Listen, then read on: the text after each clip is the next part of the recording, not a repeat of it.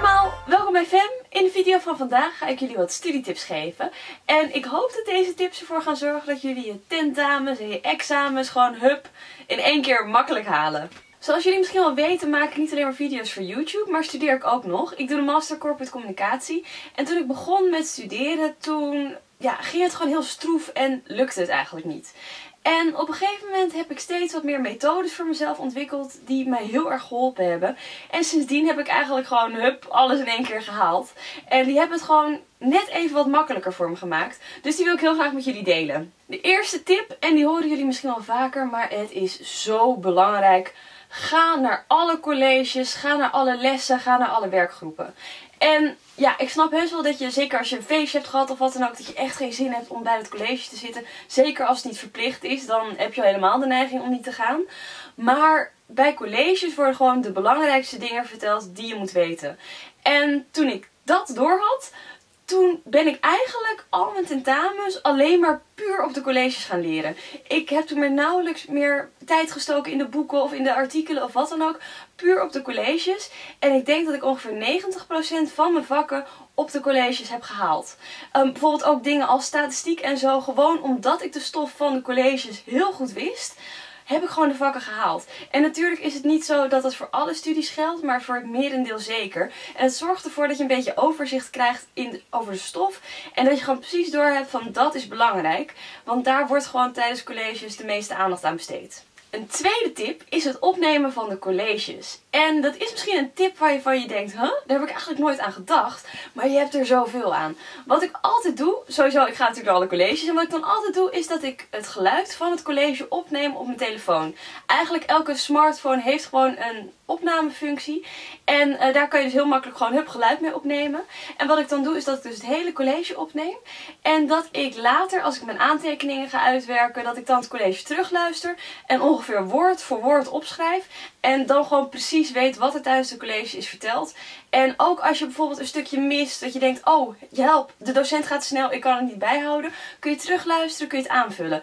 En soms heb je ook van die dagen dat je echt zoiets hebt van... En dat je gewoon eigenlijk niet op kunt letten of dat je moe bent of wat dan ook.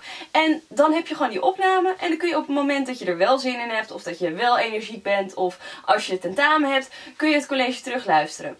En wat ik zelf ook heel vaak heb is dat als ik mijn aantekeningen teruglees, dat ik denk, waar gaat het ook weer over? Zeker als het college, nou ja, een maand, twee maanden, drie maanden geleden is en je hebt dan pas tentamen.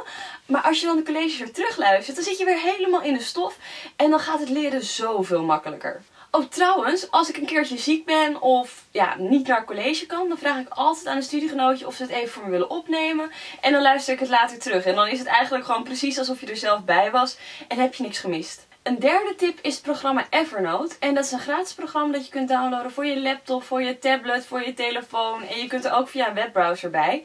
En het is een soort digitaal notitieboek met een cloud service. Dus dat betekent dat je een account aanmaakt en dat je eigenlijk altijd en overal bij je aantekeningen kunt super makkelijk. En ik gebruik het zelf sowieso voor allerlei vakken. Want je kunt meerdere notitieboeken aanmaken. Dus ik heb gewoon voor elk vak heb ik een notitieboek.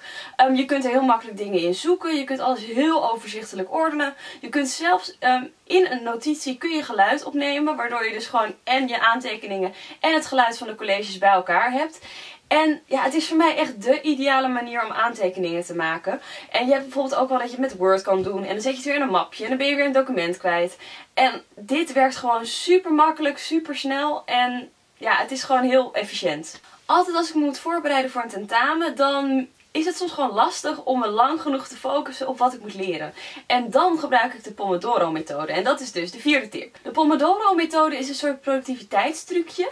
En dat bestaat eigenlijk uit blokjes waarin je heel erg richt op een taak en daarna weer eventjes pauze neemt. Wat ik altijd doe is dat ik ongeveer 15 minuten mijn timer instel op mijn telefoon. Dat ik me gewoon gedurende die 15 minuten puur op focus op wat ik moet leren. En daarna neem ik eventjes 5 minuten pauze. Ga ik even een stukje van een serie kijken. Of ik ga even mijn make-up doen. Of ik ga mijn nagels lakken of wat dan ook. En na die 5 minuten ga ik weer, hup, 15 minuten, weer mijn timer aan. Ga ik weer leren. En door het in stukjes te hakken, kan ik me dus heel goed focussen. En ben ik precies gedurende die periode gefocust genoeg om heel veel stof op te kunnen nemen. En daarna weer even ontspannen en dan kun je weer verder. En ja, gewoon echt urenlang leren kan ik persoonlijk niet. Ik denk dat heel veel mensen dat niet kunnen. En door deze methode maak je het een beetje behapbaar en ook gewoon efficiënt. De laatste tip die ik jullie mee wil geven is: maak jezelf niet gek. En um, ja, je stelt vaak hele hoge eisen aan jezelf. En ik was vroeger echt een enorme doemdenker. Ik zag overal beren op de weg en ik dacht, oh jeetje, hoe moet ik dit doen? En bijvoorbeeld toen ik mijn bachelorscriptie moest schrijven. Ik ben echt gewoon drie jaar lang ben ik bang voor die scriptie geweest. Want ik dacht, hoe moet ik ooit een scriptie gaan schrijven? En toen heeft mijn vader iets gezegd wat ik nooit zal vergeten. En wat ik altijd in mijn achterhoofd heb. En dat was, hoe eet je een olifant? En dan denk je, huh? Hoe eet je een olifant? Wat is dat voor een gekke vraag? Nou, hoe eet je een olifant? Hapje voor hapje. Oftewel, stukje voor stukje, beetje bij beetje. Je moet het niet zien als een enorme taak. Stel je hebt een tentamen en je moet heel veel leren, je moet heel veel lezen. Dan zie je die enorme berg voor je en dan denk je, hoe moet ik dit doen? Maar als je het opdeelt in stukjes voor jezelf en gewoon stapje voor stapje je erop focust, gewoon puur op wat je op dat moment moet doen, dan wordt het ineens behapbaar. En bijvoorbeeld ook met het schrijven van je scriptie. Hoofdstuk voor hoofdstuk, stukje voor stukje en dan kom je er wel. En toen ik mijn scriptie had geschreven, toen had ik echt zoiets van, huh? Was dit nou waar ik al die tijd bang voor was geweest? Puur omdat ik het gewoon toen inderdaad stuk, stapje voor stapje, beetje bij beetje ben gaan doen. En dan wordt het behapbaar, dan kun je het aan. En ik denk dat dat voor heel veel dingen geldt. Als je net begint aan je studie, dan denk je misschien van, oh jeetje, wat, wat een lange weg heb ik nog te gaan. Maar vak voor vak kom je er wel. Het, het lukt echt wel. En ik hoor ook wel eens van mensen van, oh jeetje, ik moet mijn scriptie gaan schrijven. Ik ben er zo bang voor.